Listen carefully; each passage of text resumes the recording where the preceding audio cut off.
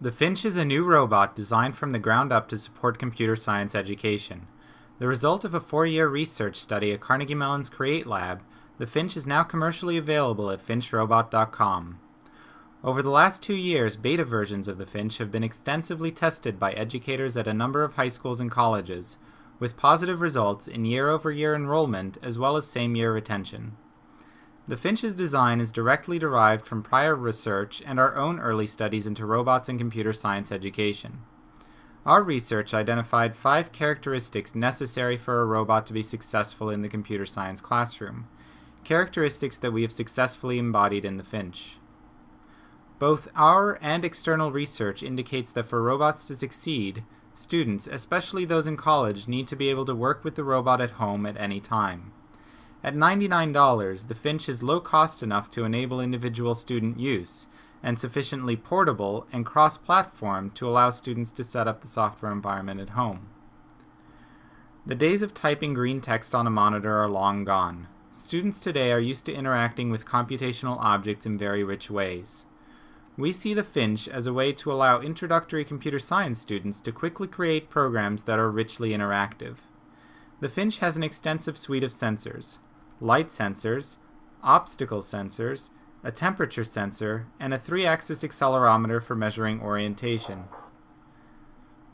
Programmable outputs of the Finch include movement, sound, and light.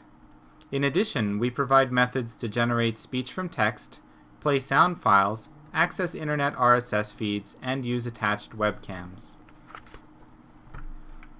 Roughly 100 students voted on early Finch shell designs, and we selected the top two vote getters and combined the favorite features from each to come up with the final Finch design.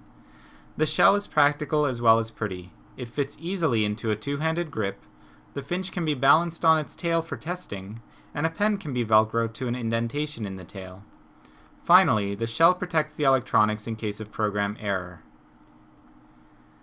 Since students are to rely on the Finch to complete their assignments, we sought to make the Finch as robust as possible. The Finch is tethered and powered over USB at all times, eliminating the need to keep batteries charged, avoiding the possible interference issues of wireless tethers, and simplifying setup at home.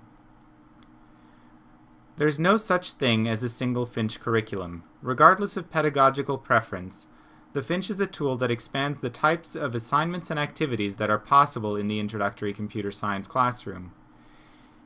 In order to get teachers started quickly with the Finch, our website includes dozens of assignments and activities that are matched to specific concepts frequently taught in introductory and intermediate computer science classes.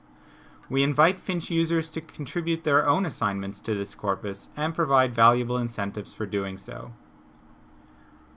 We think the Finch, in combination with the resources at FinchRobot.com, is an effective new tool to motivate, retain, and teach students in computer science. Buy a Finch today and find out for yourself.